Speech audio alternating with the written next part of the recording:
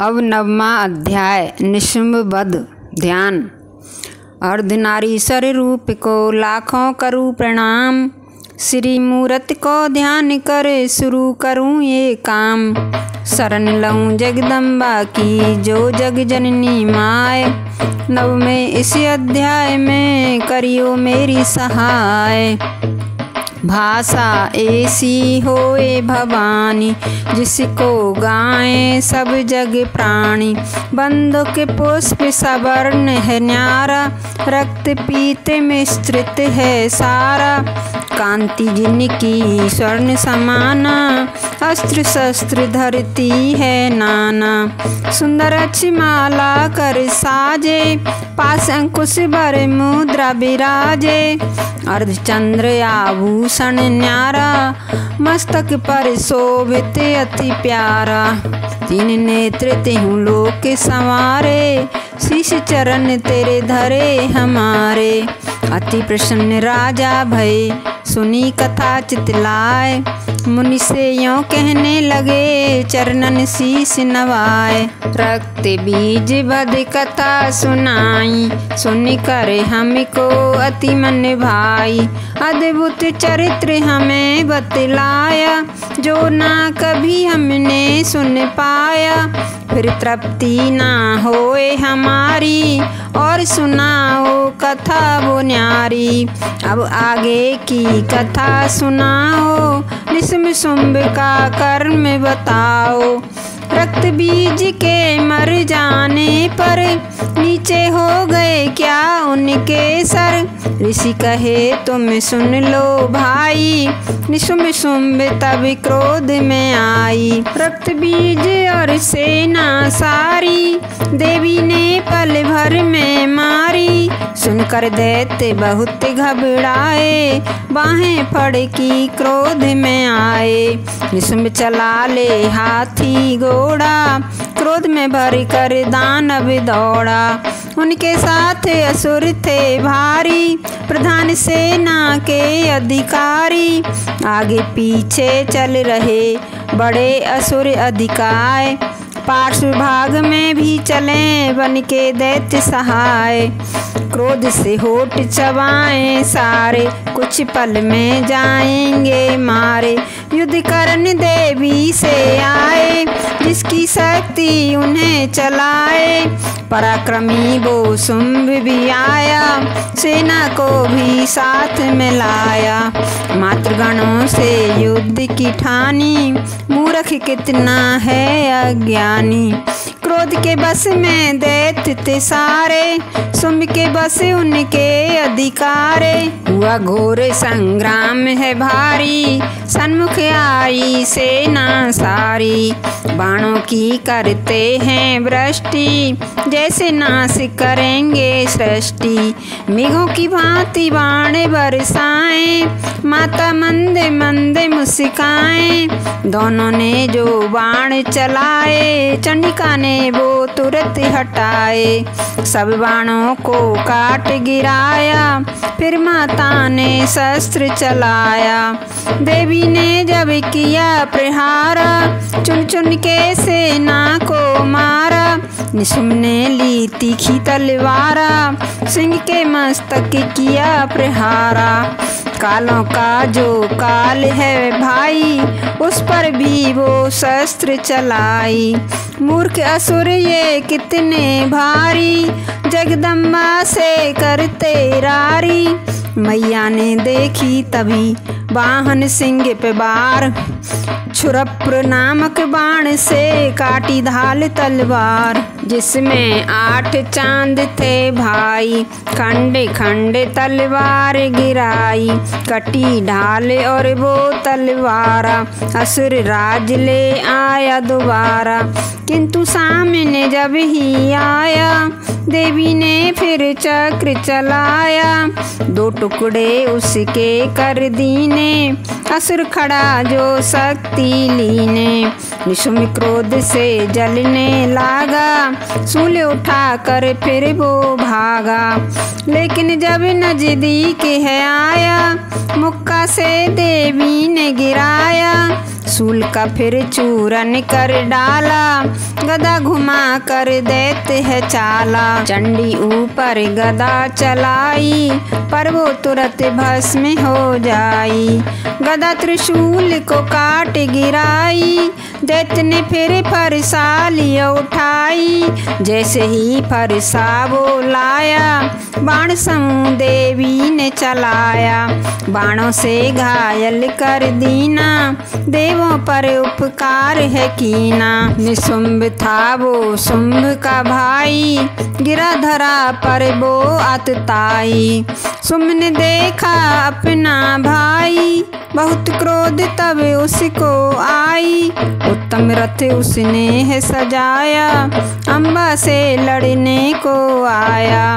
उत्तम आयुध उसने धारे। सेना सारी लई सहारे। अष्टभुजा की शोभा पाए। सब आकाश को जो ढक जाए।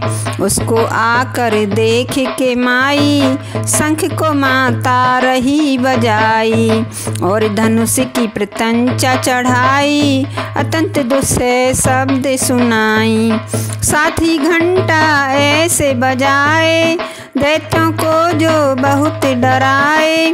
देवी ऐसा शब्द सुनाई, संपूर्ण दिशा व्याप्त हो जाई दैत्यों के सब तेज को मैया, शंखनाद से नष्ट करैया। तदनंतर दिया शोर सुनाई, सिंह ने भारी दहाड़ लगाई। जिसको सुन कर देते हैं भागे इधर उधर वो देखन लागे। बड़े बड़े गजराज भी भाई, महान मद को दूर कराई। दसों दिशाएँ गुंज है भाई, धरती और आकाश कपाई। फिर काली ने नभ में उछल कर दोनों हाथ पटके पृथ्वी पर। शब्द भयंकर हुआ है भारी, काँप गए सब नर और नारी। पहले जो दिया शब्द सुनाई इसी शब्द से सब दब जाई। तत्पश्चात की बात है शिवदूती ने आए। अट्टहास की ना बड़ा देतों को रही डराए। अट्टहास की ना बड़ी भारी दैत्यों को था मंगलकारी। शब्द किया माता ने भारी, थर्रा उठी वो सेना सारी। किंतु शुंभ को क्रोध है आया। तब देवी ने लक्ष्य घुमाया। शुंभ को लक्ष्य करे कल्याणी। फिर बोली गर्जन सी वाणी। अरे दुरात्मन खड़ा तू रहना। शस्त्रों का पहराऊं गहना। तभी आकाश में देवता सारे जय हो जय हो करके पुकारे। सुम को बो जयकार न भाई, अत्यंत भयानक शक्ति चलाई। ज्वालाओं से युक्त थी भाई, अग्नि में पर्वत समय आई। देख के शक्ति को महामाई, भारी लू के से वो हटाई। शक्ति पर फिर शक्ति चलाए अज्ञानी क्यों समझ न पाए? सिंहनाद जब सुमने कीना किन लोक को गुंजा ही दीना, उसकी प्रतिध्वनि से भाई, शब्द भयानक दिया सुनाई। युद्ध हुआ है तब अति भारी, दोनों तरफ़ से हुई तकरारी। सुम्ब चलाए बाण जो सारे काट काट देवी ने डारे। देवी ने जो बाण चलाए, सुम भी उनको काट गिराए। सुम को मैया खेल खिलाए, जैसे कठपुतली को नचाए। चंडिका माता क्रोध में आई, सूल सुम्ब पर दियो चलाई। सूल आघात को सह नहीं पाई, तनिक मूर्छा सुम्ब को आई। इतने में ही निशुम्भ भी भूमि से उठ जाए। धनुष हाथ में ले लिया युद्ध करण को आए। धनुष बाण तब उसने चलाए। दस हज़ार बाहें फैलाए। अधिक चक्र जब दैप्त चलाई। आच्छादित करी चंडी माई। जो है सबकी शक्ति माई। उस शक्ति पर चक्र चलाई। पुष्प के ऊपर पुष्प चढ़ाए। कौन समर में उसे बताए? ब्रह्मा, विष्णु, महेश ने पाया न जिसका पार, उनको समझे दैत्य वो बस एक अबला नार। दुर्गा में पीड़ा हरने वाली, कुपित भई तब वो महाकाली। बाणों और चक्रों से मैया, सब चक्रों को काट गिरैया। देख निशुंभ गदा ले दौड़ा, सब्र नहीं करता है थोड़ा। चंडी ने तलवार चलाई, तुरंत गदा को काट गिराई। देवों को पीड़ा देने वाला, सूल हाथ में उसने संभाला। सूल हाथ में देख के माई, सूल से मारन उसको धाई। चंडिका हो गई अति विकराली, सूल से छाती छेद ही डाली। विदीर्ण छाती हो जाने पर पुरुष रूप तब आया निकल कर। खड़ी खड़ी रहना बही पुरुष रहा ललकार। सुनकर देवी हंस रही, काल को रहा पुकार। खड़ग हाथ में ले लियो, दुर्गति समनी माए। निशुम का मस्तक काट कर धरा पे दियो गिराए।